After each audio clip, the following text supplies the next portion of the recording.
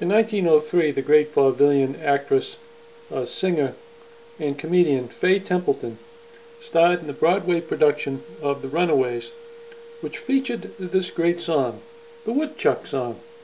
But since Fay Templeton never made phonograph records, um, that was le left up to some great performers like Billy Murray and also this gentleman who performed it uh, in 19, early 1904 on an Edison two-minute black wax cylinder.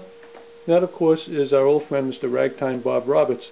So here from 1904 is him singing Fay Templeton's famous Woodchuck song from the Broadway production of The Runaways.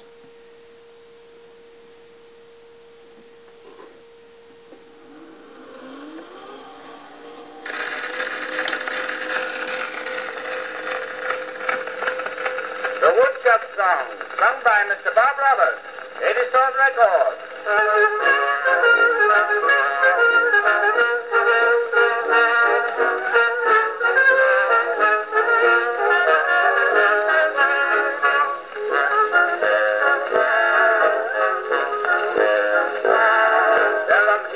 knowledge down in old Yale College and in Harvard University. Found nowhere around, not even down in Tuskegee. No full-fledged college graduate that could write off and elucidate.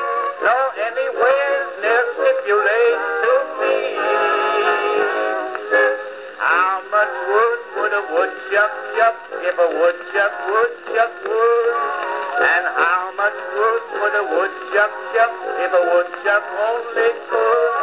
Now a woodchuck good and wood, but there ain't no reason why he should. But how much wood would a woodchuck chuck if a woodchuck would?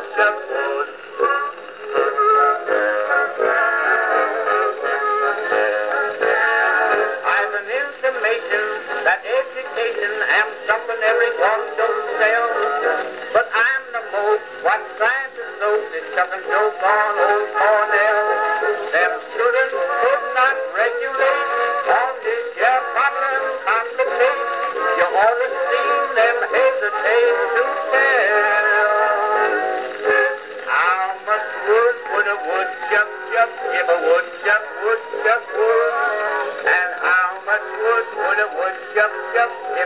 Chuck if a?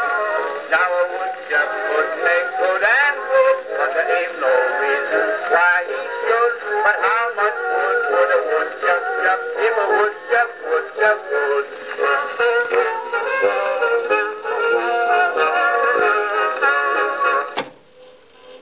That was Fay Templeton's famous Woodchuck song, which she performed in the Broadway production of Runaways in 1903. Here done for you on an Edison two-minute black wax cylinder by Ragtime Bob Roberts from early 1904.